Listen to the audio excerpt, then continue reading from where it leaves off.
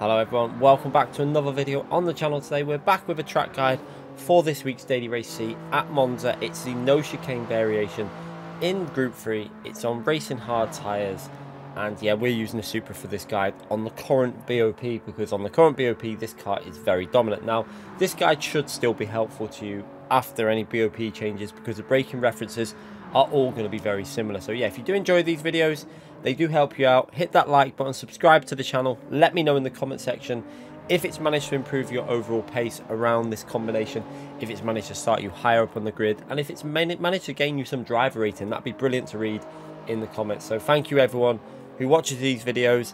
Let's get on with the track guide and let's see if we can give you some tips to try and find you some pace around this track. Now, obviously, there are only a number of corners in this combination where you're going to gain pace. So you really do need to hook them corners up because qualifying is going to be very, very close because, like I say, there's only four braking zones really and four places where you can make up time. So you really have to make sure you maximize your potential on them areas. So starting the lap, obviously, first thing to do is make sure you get a pretty good exit off the final corner. This may sound very silly, but this is actually quite important because if you lose half a tenth here, that's going to be emphasized by over a tenth before the braking zone. So that might not sound like much, but in this combination, a tenth on the leaderboard in qualifying could be the difference between five or six places on the grid, especially by the end of the week. So really try and get that exit speed sorted, working out the final corner, make sure you get that fourth gear upshift early and get the exit speed. So for turn one, you're not going to lift. This is just completely flat out. What you want to do though is try and take a nice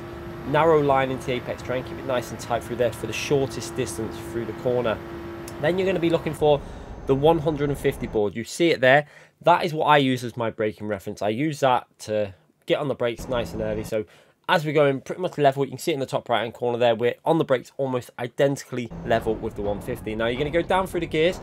And then as you're approaching the corner, you can see I go into first gear just before I'm rotating in. So you can see we just gone into first gear and you're going to attack this corner. You can see just before we get to the curb, we're going to go back up to second gear. And you can see we want to go over that sausage. You can see the right hand tire is going to go to the right hand side of it, left hand tire to the left of it. And again, as we approach this corner on the throttle aggressively, and you can see again, you want to go over the middle of the other sausage curb. If you get it right, you can get a good exit speed. Make sure you get a third gear before you come out of that exit so you get better momentum and now into the next right hand corner.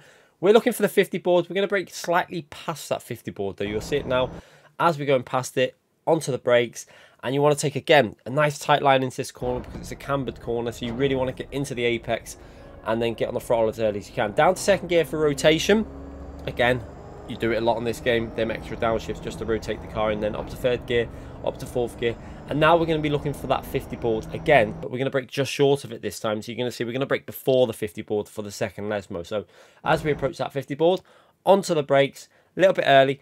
And now for this corner, you again want to get that right hand tyre onto that green bit of Astro on the right hand side almost, down to third gear. And then as we're approaching this corner and you're clipping it, you're almost going to want to get into fourth gear as you approach it. So onto fourth gear, nice and early. No, I didn't do this perfect. You're going to see the ghost in front of me. Look at that. Pause away. That's my ghost on a different lap that actually gains about a tenth or more there. So there's over a tenth or two, two, two maybe two tenths at a push to gain on that corner for myself. Now we're looking for the next braking reference. We're using this little bit of tarmac just past the overhead board. That little bit of tarmac on the right side. Make sure you're braking before that, down through the gears, and you're going to go down to third gear as you approach the corner here. Now you're going to see we're going to trail brake into the corner as we're going through to the apex. And as we get onto the apex, we're going to get onto the throttle, and you want to get your left-hand tyre onto this tiny bit of green Astro. Try not to be too aggressive on them, the yellow and black curbs. They can be quite dangerous. So right hand tyre now onto the green bit of Astro on this side.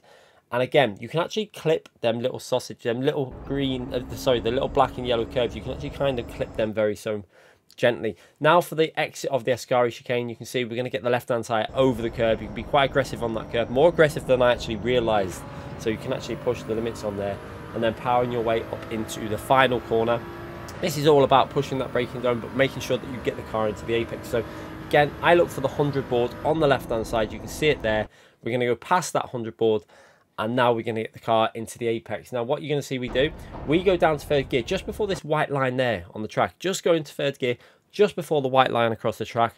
That's going to rotate the car in into the corner, and then you're going to see we're going to be patient, very patient, and then when we feel the grip there, you can feel the rotation up to fourth gear just as you feel it rotate and then you're going to try and stay on the power all the way. You can actually let the car run a little bit wide here because as it gets to the full width of the track, it grips up and you can carry on that momentum. Now we're going to go to the right hand side of the track to use the shortest line possible over the line and we go over with a 1 minute 36.7. It's not a particularly amazing lap, but it should be good enough to help you out. So let's watch this lap again from the chase camera and see if it can show you from you know the outside view what we're doing on them corners. So again, like I said before, final corner, extremely important because like I say, if you're coming out that corner half miles per hour slower, that's going to be emphasized by the time you get to the end of the straight by maybe a miles per hour.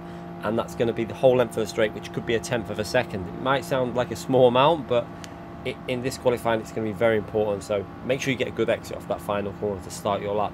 Looking for that 150, rotating, you can see how much we take off the curbs here. It really shows you on this angle just how aggressive you can be on them curbs. You can take a lot more than what I realised off them curbs and that's where I think we started finding a bit of race pace as well yesterday where we could start utilising the track limits there. Now the two Lesmo corners you can see very important to get it into the apex. If you slightly miss the apex you're going to run wide again on that corner. A little bit hesitant into fourth gear. Need to be so brave getting into fourth gear for that corner like on the throttle early. The earlier you get on the more risk there is that the car's going to run wide though. So just factor that into your decision on that corner, how aggressive you're going to be.